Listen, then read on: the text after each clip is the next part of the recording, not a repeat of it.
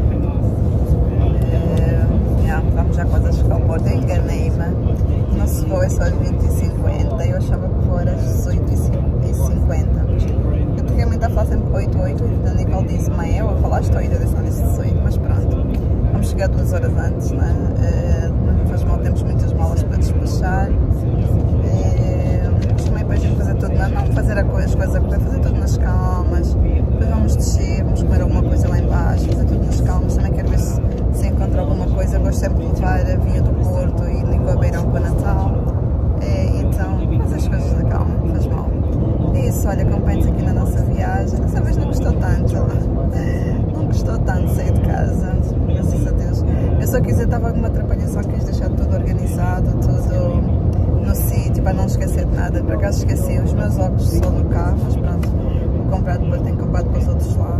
Mas também a história, acho que ficou tudo orientado. Tenho que ligar a minha vizinha dizer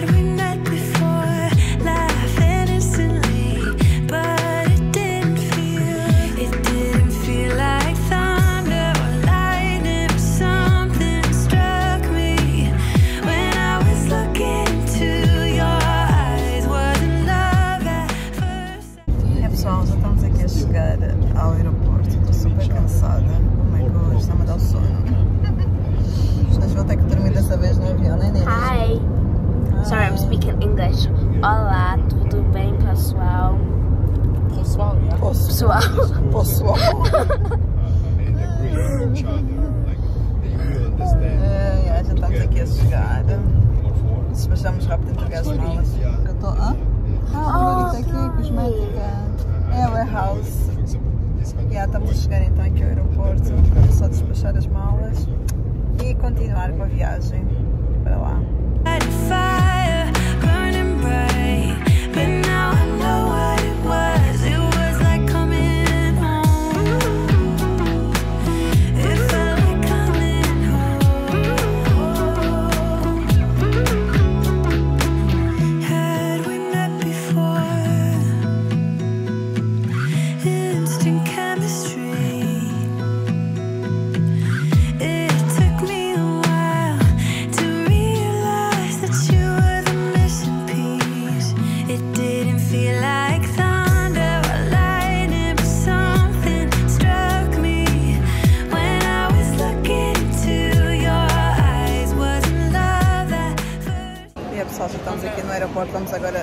Despachar as malas.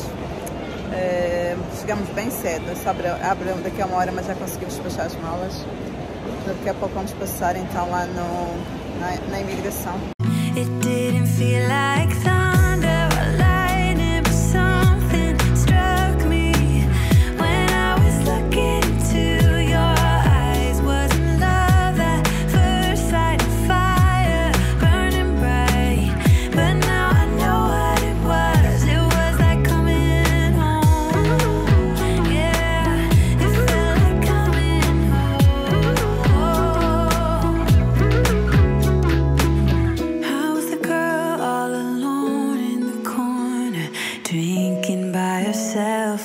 feel like E é pessoal, voltei aqui quatro Olá, dias depois. Pessoal. Olá pessoal, tem a Nicola. Já estamos na Inglaterra, vocês viram o último vídeo, eu estava a gravar, saímos de, de, de Aveiro, né? tivemos que apanhar um Uber. Porque assim, eu enganei-me na hora, acho que eu também comentei. Eu achava que o voo era às 18h50, afinal era às 20h50. Eu falava 8h50 realmente, mas enganei-me. Ou seja, tivemos que apanhar um Uber em vez de apanhar o comboio ficava muito mais barato, gastámos 150, acho que foram 153 euros, deu um bocadinho menos em libras, nós pagámos sempre com os cartões daqui. Pronto, chegámos bem cedo, chegámos no aeroporto por volta das 16, 16 e qualquer coisa, quase 17 horas. E, quase 17 horas, sim. Chegámos no aeroporto, fomos logo à, à fila né, do, para fazer o check-in. Já tinha check-in feito, era só despachar as malas. E entretanto chegámos lá, é, o rapaz disse, olha, o vosso voo, porque já estava a as malas, depois ele reparou, o vosso voo é só às 18h50, oh, só abre às 18h50, ou seja, vocês só podem voltar aqui duas horas depois. Ok. Entretanto, pronto, ficamos lá sentados, à espera das duas horas, lá chegando essas duas horas, foi muito demorado, mas assim que eu cheguei no aeroporto, a EasyJet mandou uma mensagem, um e-mail a dizer que talvez o voo iria atrasar-se, mas para nós ficarmos atentos, não nos, não nos afastamos do, do aeroporto, porque podia haver mudanças de planos. Ok, esperamos, então essas duas horas, o check-in correu muito bem, graças a Deus, atravessamos uh, também o, lá, uh, como é que é, a segurança também correu tudo muito bem, a fronteira, não, nem paramos nada na loja para comprar, normalmente paro para comprar uma, eu disse que ia comprar uma garrafa de Lico Beirão e fui do Porto, Bruno não quis comprar nada dessa vez, ele não quis comprar nada, eu também não vinha assim no mood, porque também está doente, então estava naquele mood de estar a parar. É, depois paramos então no Burger King, lá no mesmo no aeroporto, para comprarem, para, elas almoçarem, que elas não tinham almoçado, tinham tomado só pequeno almoço. É, então comemos lá para fazer tempo.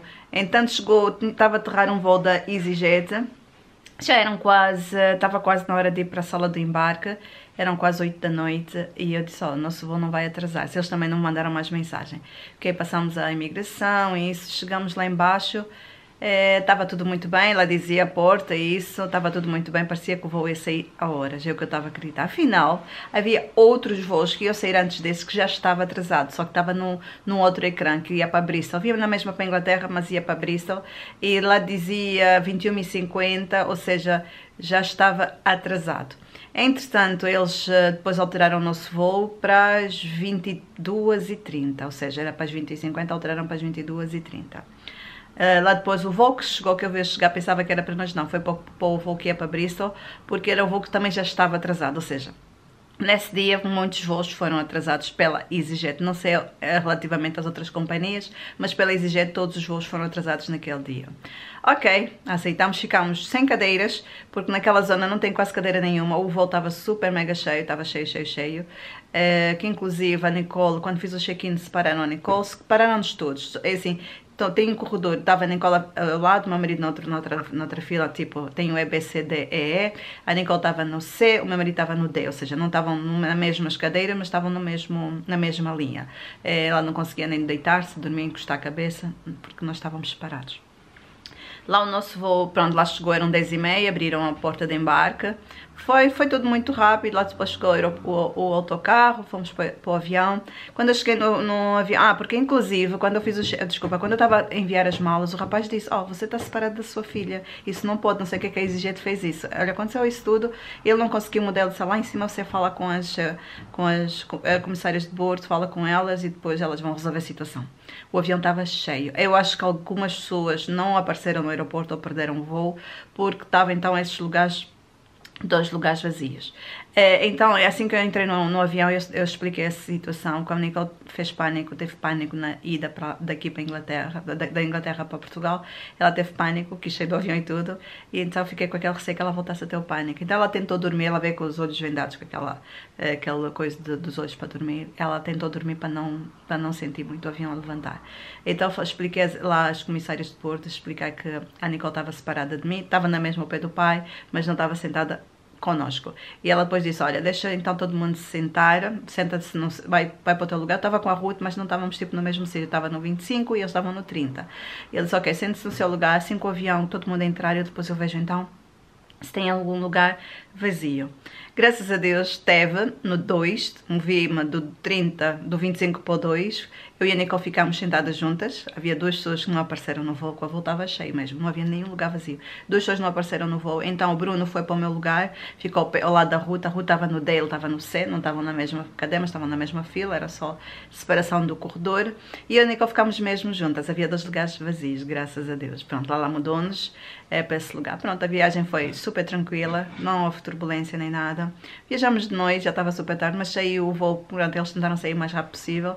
Saímos por volta das, acho que era 10h40 quando saímos, eram 10h40, quase 11 horas quando saímos, 10h45 quando saímos.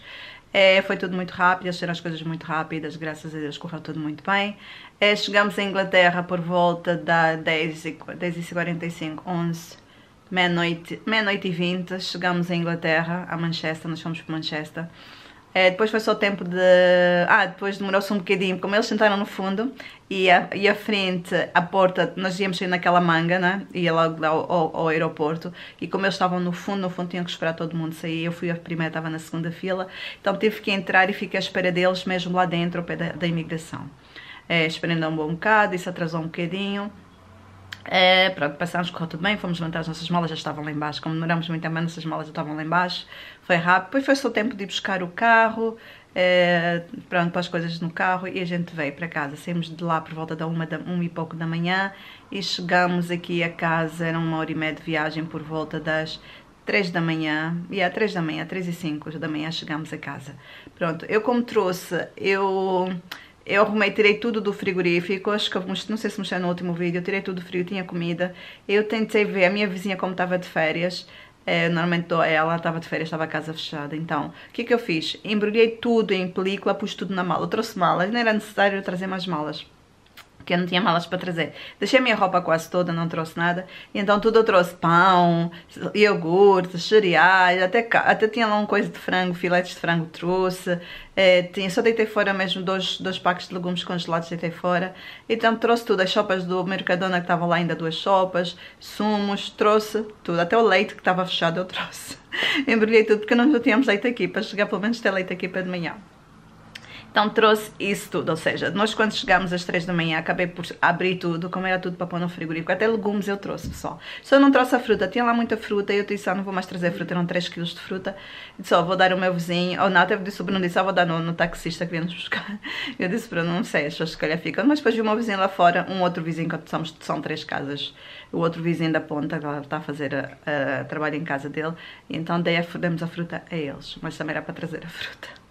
Mas pronto, foi então chegar a casa, arrumar tudo, no, tirar tudo de, de frio para pôr no frigorífico, e depois comer alguma coisa, então fui dormir por volta das quatro e qualquer coisa da manhã. Como eu não ia trabalhar na quarta-feira, no dia seguinte não ia trabalhar, pus férias também, mesmo para descansar.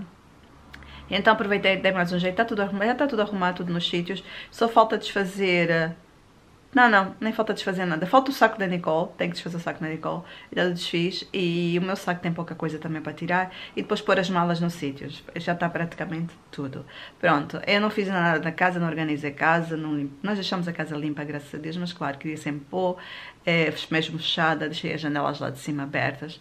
Mas pronto, Vou agora, hoje é sábado, nós vamos sair no instante levantar umas coisas e depois ver se consigo começar a organizar a casa. Preciso também fazer compras de comida. O que nós gastamos foi o que estava congelado aqui e foi o que nós trouxemos de lá. Então foi assim. E só, eu vou então agora sair. Uh, só era mesmo liguei aqui a câmera para terminar esse vídeo aqui, explicar como é que foi então o nosso regresso à Inglaterra. Já estamos, vocês estão a assistir vídeos que que eu, eu editei-os todos cá, porque eu não consegui editar lá, eh, não tinha como editar lá, estava no, no telemóvel, custou-me um bocadinho. O primeiro vídeo até editei no telemóvel, custou-me um bocadinho, e porque eu também gravava algumas partes, gravava na câmara quando estava em casa, outras partes gravava no telemóvel. Ou seja, não tinha os vídeos completos. Eu até tentei editar no computador da Bruna, só que o computador da Bruna é, é um Apple Mac.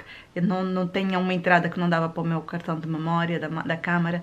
O primeiro vídeo editei lá, mas depois os outros já não consegui mais, então tive que esperar. Vocês vão ter vídeos é, de, de, de, Portugal, já eu aqui na Inglaterra, pronto. Vou ver se começo a fazer, as aulas vão começar para a semana, para a semana dia 2, na próxima, daqui a umas semanas elas começam no dia 2 de setembro.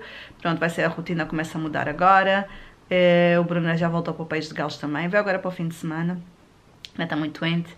É, está sem voz, é, mas ele foi na quinta-feira começou a trabalhar também e sexta voltou ontem, pronto, fica o fim de semana. Aqui segunda-feira é feriado, é, dia 26, não tenho erro, é feriado, não sei de quê, é, mas eu vou trabalhar porque a empresa vai abrir só para poucos funcionários, mas eu decidi trabalhar porque assim ganho mais um dia de férias, que eu já fui com férias não pagas, né? Por isso é que eu vou trabalhar. O Bruno não vai trabalhar, vai estar em casa. Normalmente não trabalhamos ao feriado, mas a empresa às vezes abre ou ganha-se hora extra, ou um, no meu caso eu ganho um dia, ganho, do contrato ganha um dia extra, então eu fui mais por causa disso, é que eu vou precisar.